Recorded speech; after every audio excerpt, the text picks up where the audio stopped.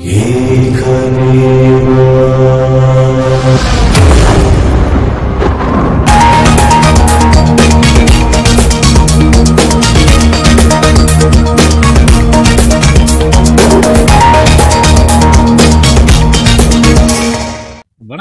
அழிவில்லா ஆட்சியாளன் அவர்களே. வணக்கம் ஐயா. நீங்கள் இப்போ வந்து சமீபத்தில் நிறைய வீடியோ போட்டுட்டு இருக்கிறீங்க. அதில் வந்து யுக மாற்றம் யுக மாற்றம்னு சொல்கிறீங்க. யுக மாற்றம்னா என்ன அது எப்படி நிகழும் எப்போ நிகழும் என்ன கருத்து வச்சிருக்கிறீங்க? சொல்கிறேன் ம். அதாவது ஒரு சதுர் யுகம் அதை மகா யுகம்னு சொல்லலாம். அது பார்த்தீங்கன்னா. ஒரு வட்டம். பூமி உலகம் ஒரு வட்டம். அதில் கிரேத யுகம் திரிதா யுகம் துவாபர யுகம் கலியுகம் அப்படின்னு நம்ம சொல்லப்படுவது உண்டு இப்போ இந்த யுக மாற்றம் அப்படிங்கும் பொழுது ஒரு யுகத்திலிருந்து இன்னொரு யுகத்திற்கு. நாம். பயணிக்கப்படுகிறோம். அது இயற்கை பிரபஞ்சம் காட்டும் ஒரு நியதி. அதை யாராலும் தடுக்க முடியாது. அப்படி போயிட்டு இருக்க தருணம் தான். இப்போ நம்ம இருக்கிறது கலியுகம். கலியுகம். புராணப்படி நீ பார்த்துட்டீங்கன்னா லட்சக்கணக்கான ஆண்டுகளை முன்வைப்பாங்க. இந்த கலியுகம் முடிய இன்னும் இத்தனை லட்சம் ஆண்டுகளில் உள்ளது. இத்தனை ஆயிரம் ஆண்டுகள் கடந்து போகணும். அப்படிங்கிற மாதிரி சொல்லிட்டு இருப்பாங்க. ஆனால் நம்மளை பொறுத்த வரைக்கும் இந்த கலியுகமானது. இரண்டாக பிரிக்கப்படுகிறது பாவிக்கப்படுகிறது. ஒன்று கலி காலம். இன்னொன்று கலியுகம். இந்த கலி காலம் என்பது இப்போ முடிய போகுது. யுகமாற்றம் நடந்துட்டு இருக்கு சரி. ஆரம்பிச்சிருச்சு. ரெண்டாயிரத்தி பதினெட்டு பதினெட்டு இப்படி போயிட்டே இருக்கு. இப்போ யுகமாற்ற காலத்தில் தான் நம்ம இருக்கிறோம்.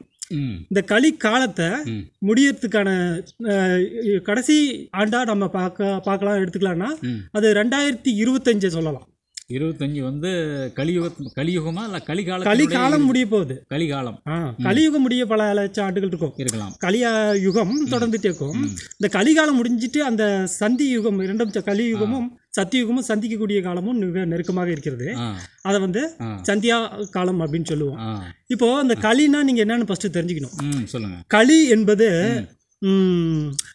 ஏதோ ஒரு பெரிய மிருகம் பெரிய கொடிய மது மது இதெல்லாம் வியா வியாபித்திருப்பாரு. பல நாட்டுக்கு ஒரு திரைப்படத்தில் வர வில்லன் மாதிரி இருப்பாரு. அப்படின்லாம் நிறைய பேர் திங்க் பண்ணிட்டு இருக்காங்க. ஒரு அசுரத்தனமா ஒரு ஆயிரம் கைகளோட வருவாரு. ஆமா ஆமா ஆ. ராவணன் உதாரணத்துக்கு எடுத்துக்கலாம். ராவணன் நல்லா உயரான்மை தான். அது ஒரு சர்ச்சையா எடுத்துக்கலாம் அதனால அந்த தோட்டத்துல வருவாரு. அப்படின்னு நினைச்சிட்டு இருக்காங்க. அப்படிலாம் இல்ல. கரிங்கிறது நமக்கு உள்ள மானிடர் அகத்தில் உள்ள அகங்காரம் ஆணவம் அழுக்கு அந்த காமம் பற்று பேராசை அப்படிங்கிற அழுக்கு. அழுக்கு. அதை எல்லாத்தையும் வெளியே ஏத்திடணும் அதெல்லாம் ஏத்திடல்னா ஏத்திட்டு உயர் ஆன்மாவா உங்க தகுதியை வளர்த்துக்கணும். அப்படி வளர்த்துக்கலன்னா அந்த அகங்காரத்தோட சேர்ந்து அத்தனை பேரும் அகங்காரம் பிடித்தவர்கள் அத்தனை பேரும் அழியப்படுவார்கள். சமாதியாகி விடுவார்கள் அவ்வளவுதான் முடிச்சிட வேண்டியதான் ஒழு- ஒழுங்கா இருந்தா அஹ், உலகத்துல சத்தியுகத்துல அவனுக்கு ஒரு இடம் உண்டு. உயரான்மா பின்னாடி பயணிக்கிறதுக்கு ஒரு வாய்ப்பு உண்டு. இந்த அசுர குணங்களை வந்து தூக்கி எரிஞ்சிடணும் அசுர உணவுகளை தூக்கி எரிஞ்சிட்டு யுகம் மாறிட்டு இருக்கு உயரான்மாக்கள்லாம் மண்ணில் உதிச்சிட்டாங்க இனி நம்ம வேலை எடுபடாது அப்படின்னு நான் எல்லாருக்கும் எச்சரிக்கிறேன். ஏழைங்களுக்கும் பிச்சைக்காரனுக்கும் சொல்ல. பிச்சைக்காரன்லேருந்து பிரதமர் வரைக்கும் வெளிநாட்டு நண்பர்கள் வரைக்கும் எல்லாருக்கும் அடிச்சு விட்றேன். ஏன்னா கோடான கோடி உயிரான்மாக்கள் மண்ணில் இறங்கி விட்டனர். இறங்கி விட்டனர் யுகம் மாற்றம் நிகழ்ந்து கொண்டிருக்கிறது. ஆரம்பிச்சாச்சு. ஆரம்பிச்சாயிடுச்சு ப்ராசஸ் நடந்துட்டு இருக்குது ஆமா அவங்க எதிர்பார்க்கலாம். ராமரோ கிருஷ்ணரோ வானத்திலிருந்து வருவாரு. அப்புறம் நரசிம்மர் இந்த மாதிரி அவதாரங்கள் புத்தர் யேசு அதெல்லாம் இப்படி வருவாங்க சிலுவையில் அடிப்பாங்க. இப்படி மூன்று நாள் உயிரோடு திருப்பாரு இப்படி செய்வாங்க அப்படி செய்வாங்க. மந்திரத்தாலியே எல்லாம் மாற்றி விடுவாங்கலாம் இல்லை. சாதாரண ஒரு தாய் தந்தை ஆ. ஆஹ் க்கு ஒரு மகனாக பிறந்து வரவன் தான் அவதாரம். அவன் யாரு? என்னெல்லாம் நிகழ்த்த போறான். அப்படிங்கிறத இப்போ. மறைமுகமா ஆட்சி நடத்திட்டு வரான். உலகத்துக்கு தமிழன். அதில் முக்கியமாக தமிழன் தான் உலகத்தை ஆள போறான்னு ஒரு கிடையின் கீழ் அதை எப்போதும் மறக்க முடியாது மறுக்கவும் முடியாது. அதே நேரம் இப்போ இது நாள் வரை மறைமுகமாக போன அந்த ஒளி உடலை இனி ஸ்தூல உடலாக பார்க்க போறீங்க. ம். பார்த்துக்கிட்டே இருக்கிறீங்க. அதை ரெண்டாயிரத்தி இருபத்தஞ்சில். அதிகாரப்பூர்வமாக உலக நாடுகளே ஒப்புக்கொள்ளும். இதுதான் யுகமாற்ற நிகழ்வு. அடுத்த கேள்விக்கு போகலாம் இப்போ அழிவில்லா ஆட்சியாளன் அப்படின்னு சொல்கிறவர் வந்து ஒரு ஒரு ஆளா? இல்லைன்னா அதாவது நிறையா ஆன்மாக்கள் அந்த மாதிரி தோன்றி வராங்களா? அதாவது அழிவில்லா ஆட்சியாளன் என்பவர்கள் எல்லா ஜீவராசிகளுக்கும் எல்லா மானிடர்களுக்கும் இந்த இறைவன் வந்து ஒரு இறை துகளை அவனுக்குள்ள இன்சர்ட் பண்ணி தான் ம். எல்லாருமே இங்க இறைவன் தான். எல்லாரும் இறைவன் தான். தன்னை உணர்ந்தவன் இறைவன் உணராதவன்.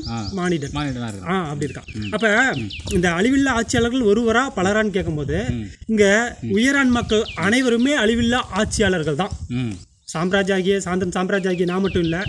நீங்களும் அழிவில்லா ஆட்சியாளன் தான் கேமராமேன் தம்பியும் அழிவில்லா ஆட்சியாளன் தான் எல்லாருமே இங்க சூழ்ந்திருக்கிற எல்லாருமே அழிவில்லா ஆட்சியாளனா அதாவது வெளிவர வச்சுக்கலாமா அதாவது அதர்மத்தை அழித்து தர்மத்தை காக்க நினைக்கும் எல்லாருமே அழிவில் ஆட்சியாளன் வச்சுக்கலாமா கண்டிப்பா கல்கி பகவானின் பின்னால் நின்று கல்கியை உண்மையான கோணத்தில் பொருளாசை பொன்னாசை இந்த காமம் ப- பற்று அகங்காரம் இதெல்லாம் எதுவும் இல்லாம சுயநலம் இல்லாம ம். பொதுநலம் விரும்பி திரளக்கூடிய ஒரு ஒரு கோடிக்கு மேலான சேனைகள் திரளும் தேவர்கள் திரளுவாங்க சித்தர்கள் வருவாங்க யுக மாற்றம் நிகழ்ந்துட்டு இருக்கு அவங்க எல்லாருமே அழிவில்லா ஆட்சியாளர்களாம் எல்லாருக்குமே சமமான பதவி சமமான அங்கீகாரம் கிடைக்கும். கிடைக்கும். அவங்கெல்லாம் வெளி வந்துட்டு இருக்காங்க இன்னும் சிலர் தட்டி எழுப்பப்பட போகிறார்கள் என்பது உண்மை.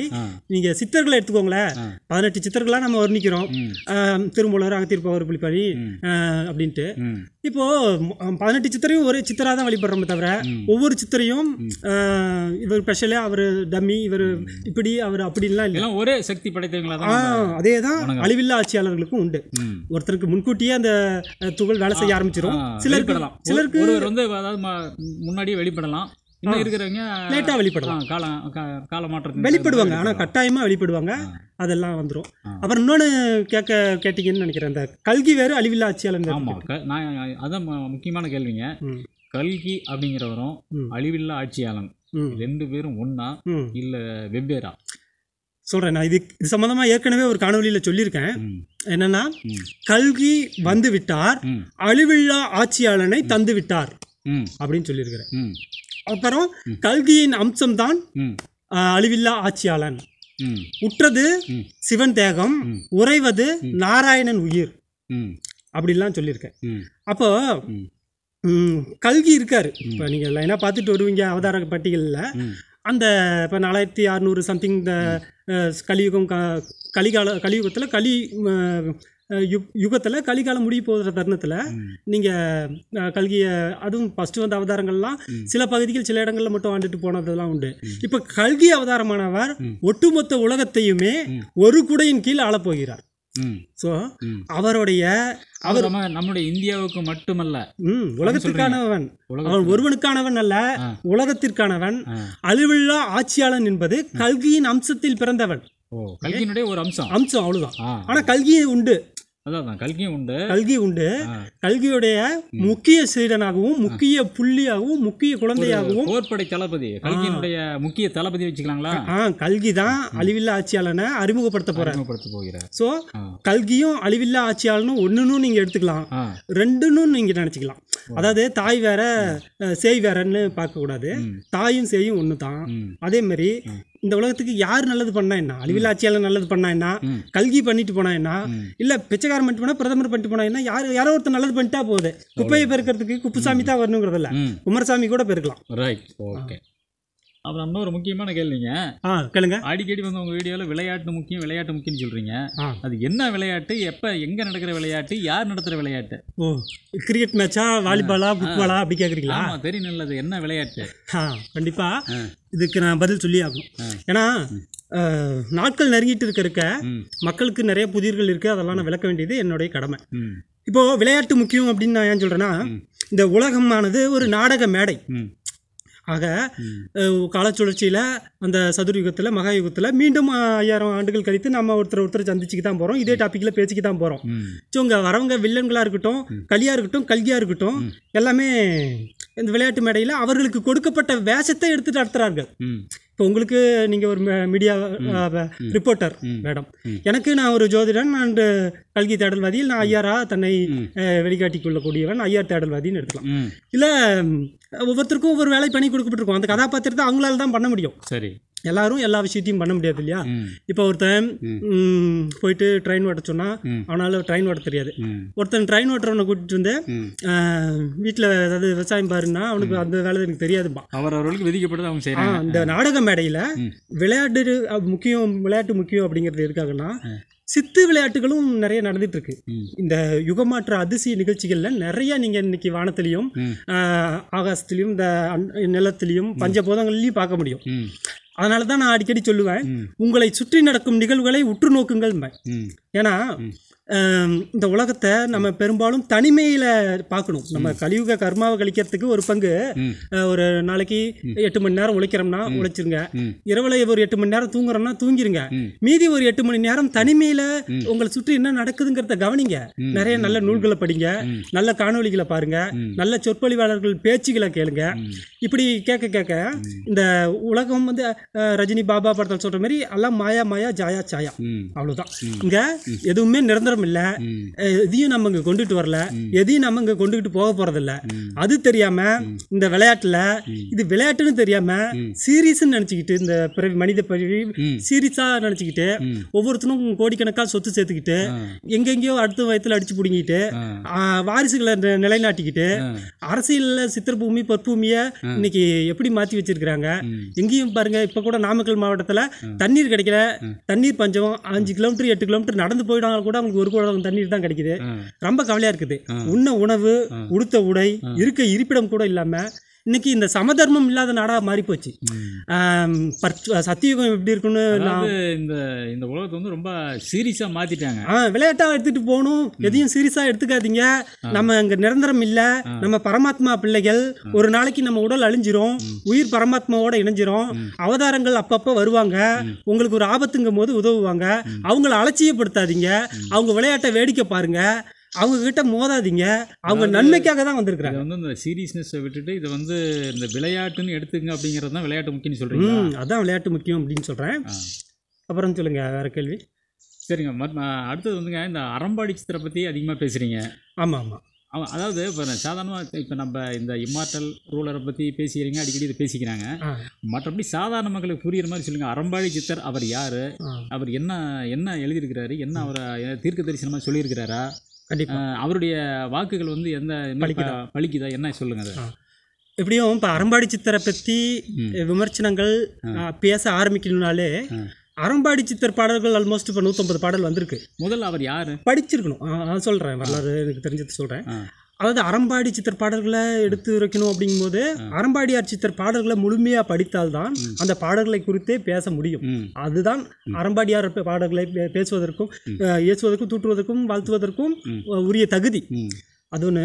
இன்னொன்று அறம்பாடி சித்தர் என்பவர் ஒரு சாதாரண குடும்பத்தில் பிறந்த ஒரு அவரும் ஒரு சின்ன ஜீவாத்மாவா இருந்து இப்போ பரமாத்மா அளவுக்கு வளர்ந்துட்டு வர்றோம் அந்த பதினெண்டு சித்தரில் ஒருத்தர் அவர் இல்லை அவர்? இல்லை இல்லை. பதினெண்டு சித்தர்கள் நம்ம ஒவ்வொரு ஆத்தரும் ஒவ்வொரு ஆசிரியரும் ஒவ்வொருத்தரை பதினெட்டு சித்தர்களாக வர்ணிச்சிட்டு போயிட்டு இருக்காங்க. சித்தர்களுக்கு கணக்கே இல்லை.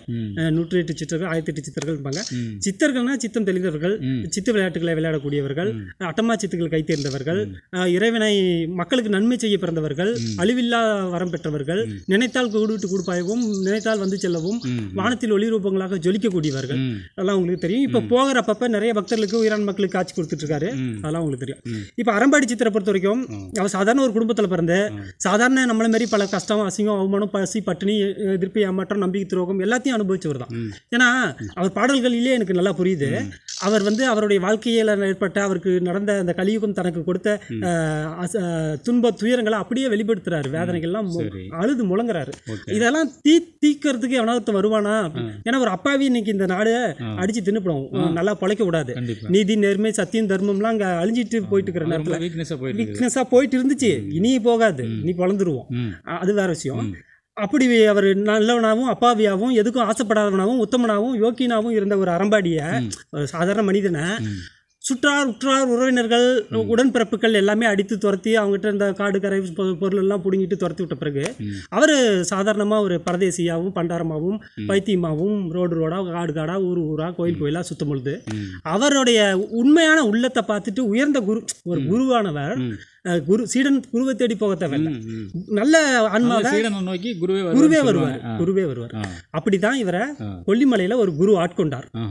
ஆட்கொண்டதாக கேள்விப்பட்டதுண்டு. ஆ, அது அதிகாரப்பூர்வமாக இன்னொரு நாளைக்கு அறிவிக்கிறேன். இதெல்லாம் செவிவெளி செய்திகள் தான். இது ஓரளவுக்கு நம்ப முடியுது. ஏன்னா அவருடைய பாடல்கள்ல இந்த விஷயம் கொஞ்சம் உள்ள கலந்து வருது. அங்கே போகும்போது அவருக்கு சில சித்து நிலைகள்லாம் காட்டி உயர்த்தி அமர வச்சு இப்போ அருணகிரிநாதர் எப்படி நான் எல்லாம் முடிச்சுட்டேன் என்ன என்ன வச்சிருக்கேன்னு குதிக்கும் போது. சும்மா இரு சும்மா இருப்பதை சுகம்னு உட்கார வச்சு திருப்புகள் திருவகுப்பு எல்லாம் பாட வச்சு அவர் இன்னைக்கு இப்போ கொண்டு வந்தாங்கல்ல. அந்த மாதிரி எங்கேயோ போயிட்டு இருந்தவரை தூக்கி உள்ள போட்டு அவரை மூலம். சில பாடல்களை புனைய வச்சு. அது எல்லாமே இன்னைக்கு சிவனடியார்கள் மூலம் வெளிவந்து கொண்டிருக்கிறது. அதை நம்ம உலகத்துக்கு பறைச்சாற்றி கொண்டிருக்கிறார் திரு ராதாகிருஷ்ணன் ஐயா அவர்கள். அதில் எந்த அளவுக்கு உண்மை இருக்குது. அது படித்து ஃபுல்லாக புரிஞ்சுக்கிறவங்க புரிஞ்சுக்கிட்டோம். புரிஞ்சுக்க முடியாதவங்க தூக்கி போட்டுட்டோம். அவர் மட்டும் இந்த தீர்க்க தரிசனம் சொல்லலை. பிரெஞ்சு தீர்க்க தரிசனர் நம்ம ஜோதிடர் நாஸ்கோ டாமஸ். நாஸ்டோ டாமஸாக இருக்கட்டும். அதுக்கப்புறம் நம்ம இவர் பாடல்கள் வந்து தீர்க்க தரிசனம் சொல்லியிருக்கிறாருங்களா? தீர்க்க தரிசனம்ங்கிறது தான் ஒரு முக்காலத்தையும் சொல்லியிருக்கிறாரு பல பிறவிகளையும் உணர்த்தியிருக்கிறாரு. அப்புறம் கல்விக்கு சில அறிவுரைகளும் சொல்லியிருக்கிறாரு ம். மக்களுக்கு சில எச்சரிக்கையை எதிர்காலத்தில் இதெல்லாம் நடக்கும் போது த- தயாரா இருந்துக்கோங்கிறதையும் சொல்லியிருக்கிறாரு அவர் இன்றும் மீண்டும் வருவதாகவும் ஆணையிட்டு உத்தரவிடுறார். அவதாரம் வெளிப்பட்ட பிறகு. ஐயனை பார்க்க. நான் வருவேன். நான் பல்லுடல் பூந்து அவனை பாதுகாத்து வருகிறேன். ஈசனும் இமையாலும் எந்நேரமும் சித்தர்களும் என் தலைவனை பாதுகாக்கிறார்கள். அவனை அழிக்க நினைப்பது முட்டாள்தனம். அவனை எதிர்க்க நினைப்பது முட்டாள்தனம். அவனை அழிக்க நினைப்பவர்கள் அழிந்து விடுவர். அப்படின்னு சொல்லியிருக்காரு ஸோ இதெல்லாம் அவர் ஒரு மனிதனுடைய காலில் இருந்து தலை வரைக்கும் உள்ள அங்க அடையாளங்களை பிரிச்சிருக்காரு. அவன் படிப்பு பிரிச்சிருக்காரு. பிறப்பை பிரிச்சிருக்காரு. வாழ்க்கை வரலாறுகளை எடுத்து வச்சிருக்காரு. பல விஷயங்களை சொல்றாரு. இதை பலரும் படிச்சு பார்த்துட்டு தல பலருக்கும் பொருந்தது அப்படின்னு நிறைய பேர் வரும்போது நிறைய பேர் தனக்கும் பொருந்து தனக்கும் பொருந்துன்னு எல்லாருமே அப்படி நினை- நினைக்கிறது உண்டு. ஸோ அந்த பாடலை படிக்கணுங்கிறதுக்கே ஒரு கொடுப்பனை வேணும். அதில் இருக்கிற அடையாளங்கள் தனக்கும் இருக்குது தன் வாழ்க்கையிலையும் அந்த மாதிரி நடந்திருக்குதுன்னு சொல்றதுக்கும் ஒரு அடையாளம் வேணுங்க. இப்போ அத்தனை பேரும் பைத்தியக்காரங்களானா கிடையாது. அத்தனை பேருமே உயரான் மக்கள் தான். இதுல இந்த பாட்டை தொட்ட அவர் சொல்லியிருக்கிற அடையாளங்கள் பலருக்கு பொருந்திருக்குது அந்த பலருமே அழிவில்லா ஆட்சியாளர். பலருமே அழிவில்லா ஆட்சியாளர் தான். ஆனா ஒண்ணு அவன் அந்த நீதி நேர்மை சத்தியம் தர்மம் உயிரான் மக்கள்ங்கிற தகுதி அவனுக்குள்ள இருக்கணும். இருக்கணும் சும்மா களி களி வேஷம் போட்டவன் உள்ள வந்துகிட்டு இதை படிச்சுக்கிட்டு இதை வச்சு பொருளீட்டிட்டு இருந்தானா? தர்மத்தை தேடக்கூடிய ஒரு மனிதனா இருந்தா அவன் கைக்கு புரிஞ்சு வந்தா ஆ, அவனால் மட்டுமே. நிலைத்து நிக்க முடியும். மீதி பேரெல்லாம் பத்து நாளைக்கு வீடியோ போட்டு விட்டில் பூச்சி மாதிரி வந்து விழுந்துட்டு போயிடும் பத்து நாள் வீடியோ போட்டு பத்து பேர்கிட்ட சம்பாரிச்சுக்கிட்டு பத்து பொம்பளைங்களை கூட்டிட்டு ஓடி போயிடுவான். களி வேலைகள் அது. அந்த வேலையை எமக்கு ஒருபோதும் ஆகாது. இதுதான் அறம்பாடி சித்திர தீர்க்க தரிசனங்கள் சொல்ல வருது. வாய்ப்பு இருந்தால் அதெல்லாம் நல்லா படிங்க. அதுக்கு அடுத்ததான் நான் இன்னொன்று சொல்லணும். இந்த போன வருஷம் வைகாசி விஷாவில் சில உயிரான் மக்களை வெளிப்படுத்தினேன். இப்போ நம்ம இதுல Senthur Murugan mission trust Senthur Senthur Murugan mission test மூலமா வந்து போன வைகாசியில திரு திருநீர் சுவாமிகள். வந்திருந்தாரு. அவரை கல்கி அவதாரம்னு பிரகடனப்படுத்தினாரு. சரி அவர் அவரு உயிரான்மா. அவர் கல்கியோ இல்லையோ. அவரும் நம்ம கூட பயணிக்கிறவர் தான். பயணிக்கிறவர். கண்டிப்பா அவரும் தர்மவான். தர்மத்தின் நிலை நோக்கி போயிட்டு போயிட்டு இருக்காரு அவர் ஒன்றும் பொருளீட்டில். யாரையும் ஏமாற்றல. ரைட்டு. அதே மாதிரி திரு கண்ணன் கல்கி கண்ணன் ஐயா சிவகங்கை சிங்கமுனி ஐயாவும் அவரையும் நான் பேட்டி எடுத்தது உண்டு அவர் கூட பழகியது உண்டு அவர் வீட்டுக்கு நான் சென்று உண்டு என் வீட்டுக்கு அவர் வந்தது உண்டு அது மாதிரிலாம் போயிட்டு இருக்கிற தருணத்தில் அவருமே. நல்ல ஒரு உயரான்மா. நல்ல ஒரு குரு தகுதி உடையவர். அவரும் சில சீடர்களுக்கு தகுந்த அறிவுரைகளையும் புத்திமதிகளையும். வழிகாட்டுதலையும் சொல்லுவார். நிறைய மூலிகை ரகசியங்கள் எல்லாமே தெரிந்தவர். ஓகே. அடுத்ததா இப்போ பங்குனி உத்தரம் நம்ம கோயிலில் நடக்க போகுது. ரெண்டாயிரத்தி இருபத்தி மூணு பங்குனி மாதம் இருபத்தொன்று இருபத்தி ரெண்டு செவ்வாய் புதன் வர செவ்வாய் புதன் ஆகட்டும் ஆ. அதுக்கு அடுத்து வர அதாவது ஆங்கில தேதிப்படி அஞ்சு நாலு ரெண்டாயிரத்தி இருபத்தி மூணு அன்று அஞ்சு நாலு ரெண்டாயிரத்தி இருபத்தி இருபத்தி மூணு புதன்கிழமை அன்று பங்குனி உத்திர பெருவிழா. வெகு விமர்சையாக. நம்ம முருகன் ஆலயத்தில் வஞ்சி மாநகர்னு சொல்லக்கூடிய சேலம் சேரன் நகரம் சொல்லக்கூடிய சேலம் கோவை கேரளா பகுதியை சார்ந்த. இந்த சேரம் மண்ணில் ஒரு நிகழ்ச்சி புனிதமான சேலம். வந்து இதுக்கு முன்னாடி சேரளம் அப்படின்னு சொல்லி இருந்ததா சொல்றாங்க. இருக்கலாம். சைலம்ங்கிறாங்க சேலம்ங்கிறாங்க சேரளம் அப்படின்னு சொல்லி ஒரு இதுல இருக்கலாம் இருக்கலாம். ஏன்னா. அங்க சாம்பலி சம்பாலான்னு கூட சிலர் சொல்லிட்டு இருக்கிறோம். அந்த மாதிரி. சே- அதான் சேரன் முவேந்தர் மன்னர் நான் சொல்லிட்டு வரேன். சோழ பூமி பாண்டி பூமிலாம் ஒன்றும் இல்லை. அங்கெல்லாம் யாரும் உயிரான் மக்கள் இல்லைலாம் சொல்லல. எல்லா இடத்துலையும் மக்கள் உயிரான் மக்கள் இருக்காங்க. எல்லாமே இப்போ இந்த காணொலி பார்த்துட்டு இருப்பாங்க. எல்லாமே வெளியே வருவாங்க. அதே நேரம் இந்த நிகழ்ச்சி இங்கே நடக்குது. இங்கே இப்போ ஒரு கல்கியை நீங்கள் பார்க்க போறீங்க. இந்த வருஷம் அதாவது பங்குனி உத்திர திருவிழாவில் ஒருத்தர் வந்து அறிமுகப்படுத்துறீங்க. படுத்த போகிறோம் அவர் சொற்பொழிவாட்ட போகிறாரு இங்கே வந்து அவருடைய பிரகடனத்தை வெளிப்படுத்த போகிறாரு அதுவும் மிகப்பெரிய ஆன்மா அவரும் எனக்கு தெரிஞ்சு இந்த சமுதாயத்துக்கு. பயனுள்ள ஆக்கப்பூர்வமான. உன்னதமான கருத்துக்களை. பல ஆண்டுகளாக முன்மொழிந்துட்டு வரவர் தன்னை எது அடுத்து நடக்க இருக்கிற நிகழ்வுகளை முன்கூட்டியே எச்சரிச்சுட்டு வரக்கூடியவர் ஆ. அதே மாதிரி ம். அவருடைய.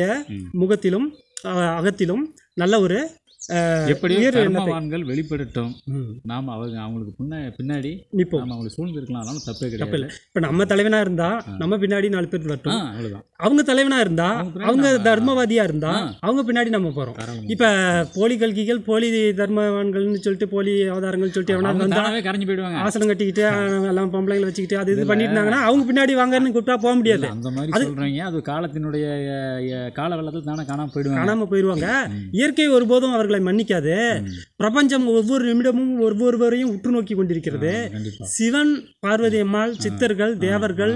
முனிவர்கள் ரிஷிகள் எல்லாமே மண்ணுலகில் இறங்கிவிட்டனர். ஒவ்வொரு கணமும் கண்காணிக்கப்பட்டிருக்கிறார்கள். அவர்கள் நினைத்து கொண்டிருக்கலாம் நான் செய்யக்கூடிய தவறை யாரும் கண்டுபிடிக்க முடியாது. நான் திருட்டு திருடுவதை யாராலும் பறிக்க முடியாது மீண்டும். காலம் நெருங்கிடுச்சு. எங்க எடுத்தியோ அங்கேயே கொண்டு போய் வைன்னு அவனே கொண்டு போய் வைப்பான். நீ எங்க எடுத்த? அரசியல்வாதியா? ஐநூறு கோடி வச்சிருக்கிறியா? உனக்கு ஏது ஐநூறு கோடி. கொண்டா. அது எங்க எடுத்த? நான் கொண்டு போய் வச்சிடுறேன். எனக்கு எதுக்கு அந்த வேலை? நீயே எடுத்துட்டு போய் வச்சிரு. ஓகே? நாங்களோட அதில் பாதி எடுத்துக்கிட்டு மீதி அங்கே வச்சம்ப. கொண்டு போய் வச்சிரு. அப்புறம் காசு பணம் இல்லா உலகம். சமதன தர்மம். அனைவருக்கும் சமநிலை. எல்லாமே மலரப்போகுது. இந்த ரெண்டாயிரத்தி இருபத்தி மூணுல.